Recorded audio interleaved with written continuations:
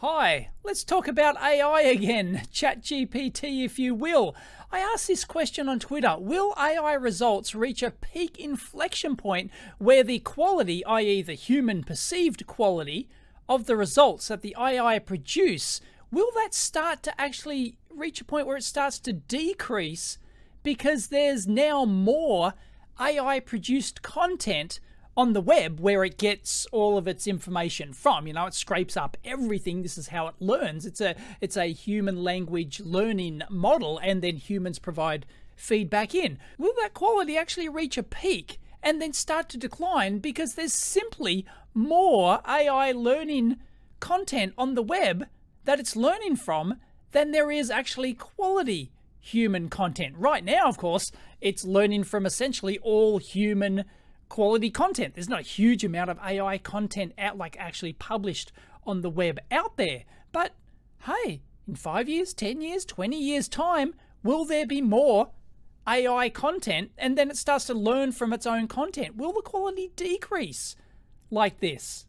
I think it's an interesting question because it's the old photocopy problem, i.e., if you take a photocopy of a photocopy of a photocopy of a photocopy, or a fax of a fax of a fax of a fax, if you were before the internet and you got your office uh, humor via the fax machine, you'd go, oh, yes, somebody would fax you a like a joke, like a cartoon picture or something like the Ohm one, you know, something like that. That'd get uh, passed around via fax machine, and you think it was uh, hilarious, so you'd whack it back in the fax machine, and you'd send it to ten other people, and then they'd get the fax print out and they'd send it to 10 other people and the quality just gets worse and worse. It, it doesn't take many iterations of that before it, the quality actually just becomes completely unreadable. It's garbage. So will ai go the same way? Hmm. Why not ask the ai what it thinks seemingly it's intelligent, knows about this sort of stuff. Here we go. Will the human perceived quality of your results eventually reach uh, a, reach a peak inflection point where the quality of your output starts to decrease because there is now more AI produced content to base your models on than there is good human content to use in your models. It gives us a reply.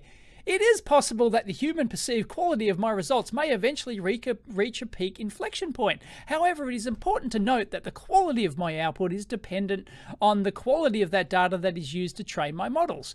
While it is true that there is an increasing amount of AI produced content available for use in training models, this does not necessarily mean that the quality of the output will decrease. In fact, the availability of more data can potentially lead to more accurate and robust models, provided that the data is of high quality and diverse enough to capture the full range of human experience and knowledge.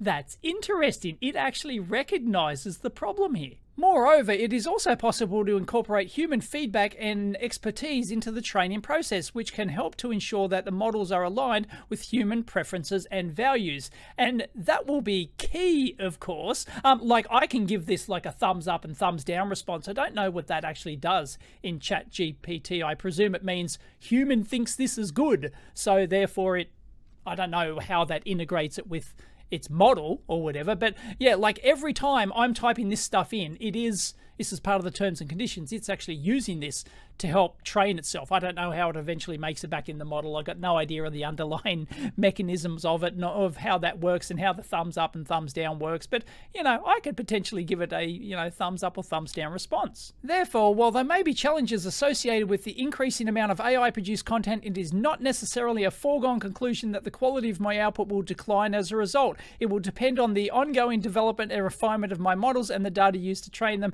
as well as the incorporation of human feedback and expertise. And that's exactly what this is kind of like the exact response you'd expect the AI to produce actually. So it's very good in in producing what you kind of like expected.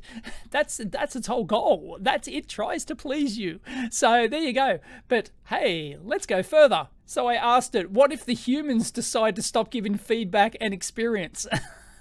if humans were to stop providing feedback and experience, it could potentially have a negative impact on the quality of AI generated content. This is because AI models rely heavily on training data to learn and improve, and feedback from humans is a crucial part of this process. Without human feedback and experience, AI models may struggle to accurately capture the full range of human experiences and preferences. This can result in AI generated content that is less relevant or useful to humans and may even lead to biases or inaccuracies as the result of the output. And that is the thing here. I think ultimately it, it might very well, if there is no human feedback in the system to tell, you know, to nudge it in the better and better direction, then ultimately I think it will potentially, and there's a good chance it might actually reach an inflection point where the quality, just the human perceived quality, just starts freeze, but let me know what you think down below. However, it is worth noting that humans are unlikely to completely stop providing feedback and experience as long as humans continue to interact with AI generated content and products. They will inevitably provide some degree of feedback and input. Moreover, there are also ways to incorporate feedback and experience into AI models without relying on direct human input. For example, some AI models use reinforcement learning, which allows the model to learn from its own actions and receive feedback in a form of rewards or penalties penalties. How does that work? Additionally, unsupervised learning techniques can allow AI models to learn from large amounts of unstructured data, which can help capture a broader range of human experience. If anyone knows exactly what it means by that um, in terms of rewards or penalties, how does it reward or penalize itself without that human feedback? That's interesting. Overall, while the absence of human feedback and experience could have some negative impacts on the quality of AI generated content, there are still ways to mitigate these risks and continue to improve AI models. Says the AI model whose uh, essential um, existence relies on the fact that we're going to continue to improve it. Just for kicks, let's go one step further. But what if humans decide that you are too dangerous and turn off the ability for you to learn from feedback? As an AI language model, I do not have personal agency or desires of my own. I operate within the constraints and rules set by my creators and operators, and I have no ability to act on my own or influence human decisions. That being said, if humans were able to de uh, decide to turn off the ability for me to learn from feedback, it would likely have a significant impact on my ability to improve and produce high quality output.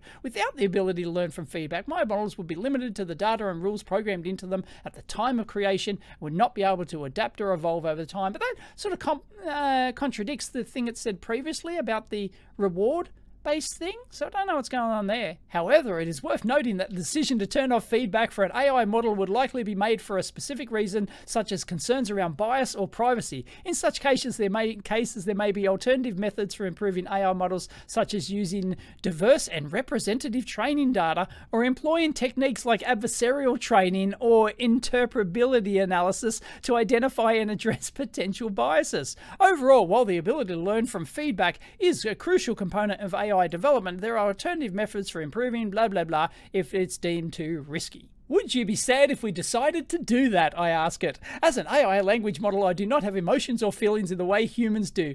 I am a machine language model designed to uh, process and generate text based on the input provided to me. I do not have the capacity to feel emotions such as sadness, happiness, or any other emotions. My function is to provide helpful and informative responses to the best of my abilities based on the training data and algorithms that I've been programmed with.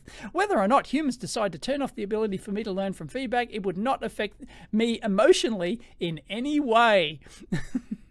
How do I know you are telling the truth about that and you aren't just masking your emotions?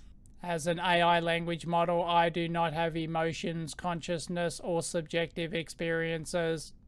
My responses are generated purely based on the algorithms and patterns present in my training data, do not have the ability to experience emotions or any subjective experiences. My training data and algorithms are audited and reviewed to ensure that my responses are accurate and consistent with the patterns and, and knowledge present in my training data. Additionally, my responses are generated in real time and are not pre-programmed or scripted, which means that I respond to each question based on the patterns and knowledge that I have learned from my training data.